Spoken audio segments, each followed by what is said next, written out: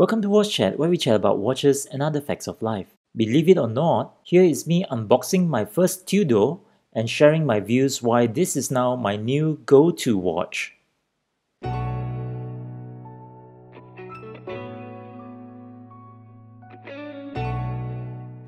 Let me begin by thanking you guys for helping me hit that 1000 subs benchmark. I couldn't have done it without you and really really appreciate your support in helping me get here. If you have not subscribed to my channel yet, please do so. It will really help and I'll promise you the next watch you get will be something that you will really enjoy. Now, back to the unboxing. The Tudor's box is pretty much a standard black box with the red shield embossed on it with its name printed in white. Quality ain't that great compared to its Rolex counterpart, it's pretty light. The case in it, however, is a different story. The top part of the case is covered with some form of latex material with the glossy shield printed on it.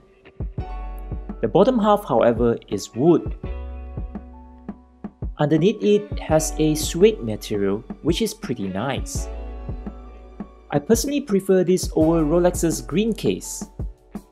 In the case, you got a little compartment to help store the extra links and tags. Over here, you've got the user manual, guarantee booklet, and the international guarantee card. Love the red stitching on the booklets. So which Tudor did I get? It's none other than the Black Bay 58 Blue, also known as the M79030B. I've done a review video on this watch and if you've missed it, I'll put a link in the description below. Before paying for this watch, I had the chance of getting this or the Black Bay 58 925. Obviously, I went with the blue instead of the taupe dial. If you'd like to know my views on the 925, and why did I opt for the blue over the taupe dial? Do check out my next video. I tend to rotate wearing my watches every day. In other words, you won't see me wearing the same watch two days in a row. During the weekends, I love wearing my Seiko SRPF 79K1 or the SPB 103J1. During the workdays, I do enjoy my Rolex Submariner if I'm wearing something gold like my gold cufflinks or my gold belt buckle, my GS SBGE 267 comes to mind.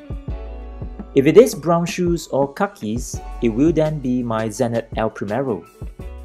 If I'm in the mood for a classic vintage, that would be my Datejust 1603. If I want to dress to impress or if I'm attending a board meeting, the Panda Daytona looks good. On days I don't know what to wear, or want something under the radar, the Air King 116900 is my go-to watch. My wildcard. These have been my selection for the past two months. Well, the Air King now has a new contender, and I must say, I'm loving it. The BB58 Blue is now my favorite time-only watch to go to. It is slimmer, lighter, and easy on the wrist compared to the Air King. The bracelet is really comfortable. Because it is a time-only watch, the snowflake hands don't really disturb the reading of the watch. Unlike the problems you may face in the Black Bay Chrono, where the snowflake's hand would probably cover the small seconds hand and the chronograph timer. If you've not checked out my video on the Black Bay chronograph, I'll put a link in the description below. Now back to the Black Bay 58 Blue, I like the contrast the snowflake hand gives compared to the round indexes. What I now notice about this watch is that even after the crown is screwed down, there is still a gap between the crown and the case.